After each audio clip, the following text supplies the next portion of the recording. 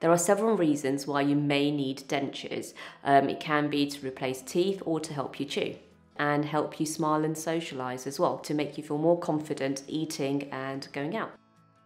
You may need a denture if you have lost teeth due to gum disease, due to decay or abscesses, or due to bone loss. A denture can replace one or several teeth. So, the Oral Health Foundation say that by 2050, there are going to be 2 billion people over the age of 60. This is more than double today's figures. When people age, their teeth can become mobile and their gums may recede. Not for everybody, but if this is something that's happened to you, then you can have dentures to replace your teeth.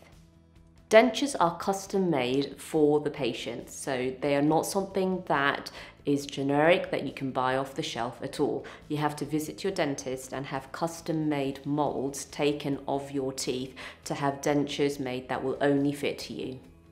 Patients have said that when we've given them dentures, it actually helps them feel younger. They may feel that their face feels a little bit fallen in or the lips are fallen in where they've had tooth loss and loss of some structures. So when we give them some dentures, it helps to fill this space and restore some of the anatomy on their face. And um, yeah, they've said that it helps them feel a bit young, younger as well.